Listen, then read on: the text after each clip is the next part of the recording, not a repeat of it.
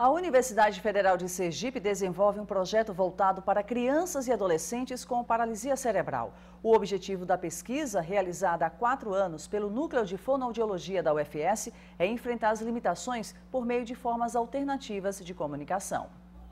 Mateus tem paralisia cerebral e, por causa disso, dificuldade para se comunicar.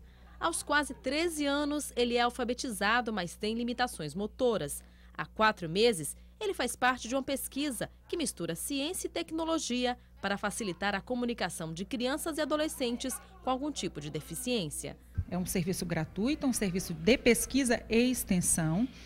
As pessoas que nos procuram, elas são assistidas nas três redes. Aqui, no trabalho terapêutico, onde a gente faz todo todo o processo, né, desde a escolha do, do, protótipo, da escolha do sistema, de como vai ser esse sistema, até o desenvolvimento linguístico. A pesquisa é feita com um sistema de comunicação alternativa. São usados programas de computador para a realização dos trabalhos. Os núcleos de tecnologia da informática e fonoaudiologia da Universidade Federal de Sergipe fizeram uma parceria. Cada paciente recebeu um cuidado especial Mateus usa o sensor nos lábios. Quando a gente descobriu que ele poderia morder, utilizar a boca, né, para abrir e fechar um acionador, aí a gente desenvolveu aqui um sistema, né, que é constituído pelo sensor, que ele morde. Esse sensor ele é acionado é, numa placa eletrônica que é conectada ao computador e um software que pode ser um software de rastreamento de teclado para que ele possa escrever, ou se não um dispositivo como um mouse, simula um mouse ou até um joystick de um joguinho. Silvia, de 7 anos, está começando a comunicação. Os pesquisadores usam outro método com ela. O sensor fica nas mãos e a mãe já percebe os avanços ela mexe no computador, né? Ela, ela sabe diferenciar as figuras que as meninas mostram, né? Eles têm já um mouse adaptado para que ela faça essa escolha. E ela fica o tempo todo, ela é virou brincadeira, né?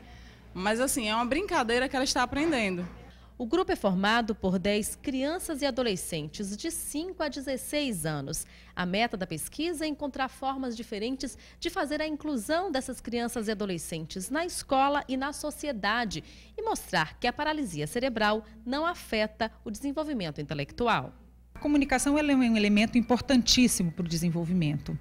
É, não só para o desenvolvimento da própria linguagem, mas para o desenvolvimento cognitivo, para o desenvolvimento intelectual. Para Mateus, além da comunicação, ele pode também fazer uma coisa que ama: jogar videogame no computador. A evolução do garoto é visível. Já desenvolveu bastante.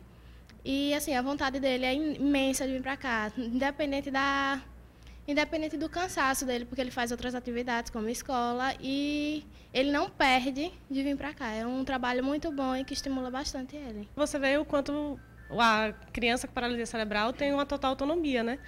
De poder jogar, poder se comunicar com as outras pessoas.